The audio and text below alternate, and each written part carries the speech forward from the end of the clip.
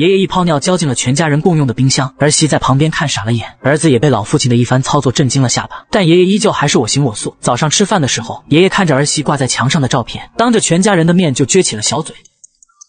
面对儿媳的难堪和儿子的不理解，没有人知道爷爷的反常行为是因为他得了阿尔兹海默症。自从妻子离世后，爷爷的精神就出现了问题，时常会做出一些啼笑皆非的事。孙女蒂尔达第一个察觉了异常，家里只有他把爷爷当正常人看待，他会请教爷爷分数的约分和大小比，也只有在这个时候，爷爷才会表现得像一个正常人。但这也只是一时的，他转身就迷恋上了电视上的金发美女，粗鄙的言语把儿媳气得差点吐血。为了给公公找点事做，让他去把院子里的灌木修剪十公分，爷爷这次倒是满口答应。可电锯刚一开动，他就忘记了自己要干什么。直到院子里的郁金香被连根割除后，他才想起自己的工作是修剪灌木。这次他倒是像模像样，卷尺一量，一分不多，一分不少。但回来的儿媳却被直接气疯了。如果记忆错乱还只是小问题，那裤裆里藏枪就有点吓人了。孙女还以为只是玩具，但爷爷在三点一线后穿过墙壁的子弹，在狭窄的房间里四处乱飞，吓得孙女连忙扑倒在地的时候，这把枪显然是真的。好在并没有酿成悲剧，儿子冲出来一把抢走父亲手里的枪。他这时也察觉到了父亲的异常，决定把爷爷接到家里一起居住。没想到第一天就出了问题，司机显然不知道爷爷有老年痴呆，他们一个敢指挥，一个敢倒车，结果可想而知。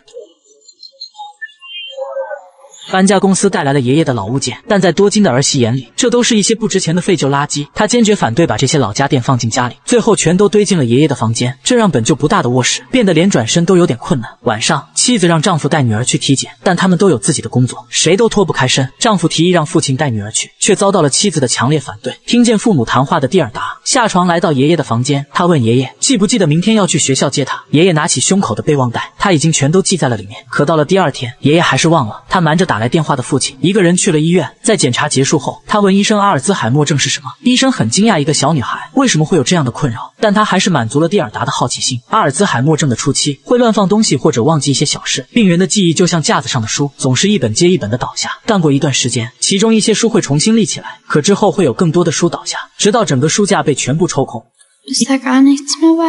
医生说，得了这种病的老人需要的是被家人理解和支持，这样才能让他找到生命的意义。可在得知公公忘记接女儿后，儿媳却当着爷爷的面大发雷霆。爷爷打算做一顿晚餐向儿媳道歉，可打开的烤箱里不知道什么时候放进了一双高跟鞋。爷爷觉得可能是打开的方式不对，在给高跟鞋刷了一遍奶油后，又把烤箱重新关了起来。儿媳这时刚好下班回家，看着满屋子的浓烟，吓得她连忙冲进了厨房。一个多金的贵妇想要灭火，现场注定了会很糟糕。